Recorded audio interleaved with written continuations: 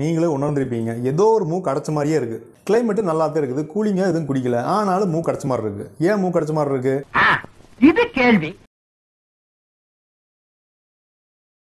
மக்கள் அனைவருக்கும் வணக்கம். அதாவது நிறைய பேர் சொல்ல கேட்டிருக்கிறோம். நீங்களே உணர்ந்திருப்பீங்க. ஏதோ ஒரு மூக்கு அடைச்ச மாதிரியே இருக்குது இந்த மூக்கு அடைச்ச மாதிரி இருக்குது இல்லை இந்த மூக்கு அடைச்ச மாதிரி இருக்குது நிறையா சொல்கிறாங்க ஏதோ ஒரு மூக்கில் தான் நான் சுவாசிக்கிறேன். நீங்கள் அதை ஃபீல் பண்ணிக்கிறீங்களா? ஒரு மூக்கில் தான் நான் வந்து இது சுவாசிக்கிறேன் இல்லை எப்போவுமே ஒரு மூக்கு அடைச்ச மாதிரி இருக்குது அப்படின்னு சொல்லிட்டு நம்ம குழந்தைக்கு சொல்லுவாங்க ப்ளஸ் வீட்டில் இருக்கிறவங்க பெரியவங்களும் கூட நம்ம ஃபீல் பண்ணியிருப்போம். ஏன் இந்த ஒரு மூ கிடச்ச மாதிரி இருக்குது? பெருசாக சளி பிடிச்ச மாதிரியும் இல்லை.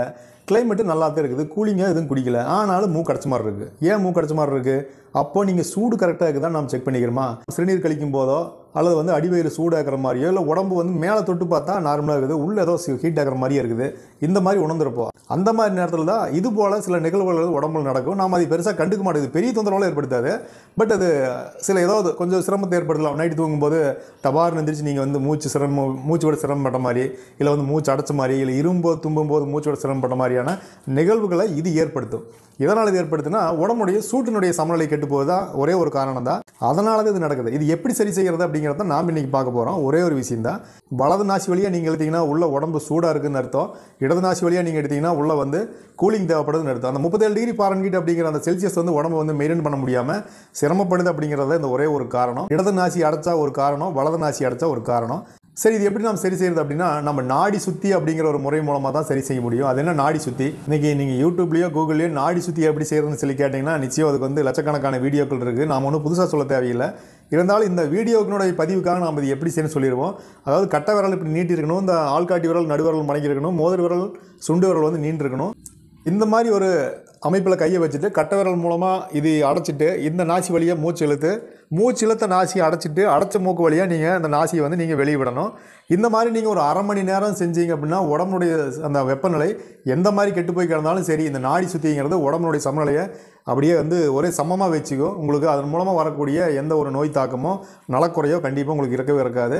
ஒரு அரை மணி நேரத்து வேலை தான். உங்களுக்கு அந்த நாள் ஃபுல்லாகவே நீங்கள் அவ்வளோ புத்துணர்ச்சியாக உணர முடியும் உங்களால். உங்கள் உடம்பு அதிகப்படியான சூடாக இருந்தாலும் அல்லது குளிர்ச்சியாக இருந்தாலும் இந்த நாடி சுற்றி நீங்கள் செஞ்சீங்கன்னா அந்த நாளுக்கு உண்டான எனர்ஜியை புத்துணர்ச்சியை கொடுத்துரும். உடல் வந்து வெப்ப சமநிலைப்படும் இதனால் வரக்கூடிய நலக்குறைகள் நீங்கும்.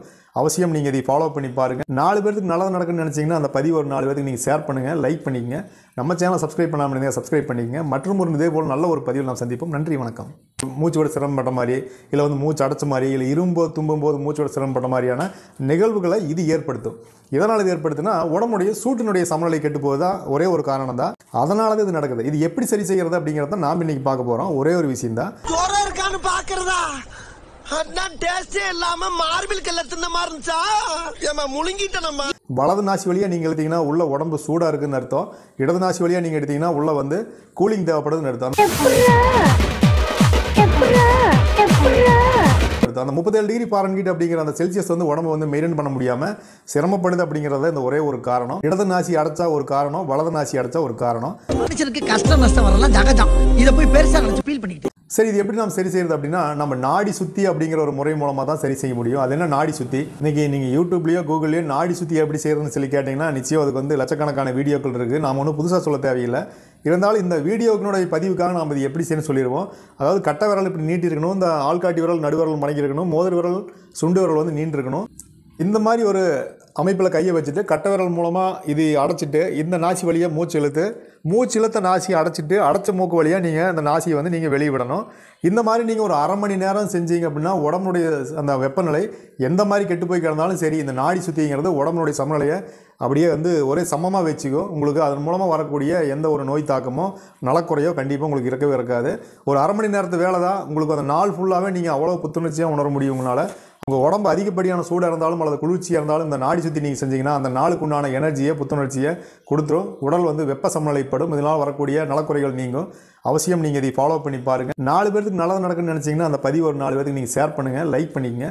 நம்ம சேனலை சப்ஸ்கிரைப் பண்ணாமல் இருந்தீங்க சப்ஸ்கிரைப் பண்ணிக்கங்க. மற்றும் ஒரு இதே போல் நல்ல ஒரு பதிவில் நாம் சந்திப்போம். நன்றி வணக்கம்.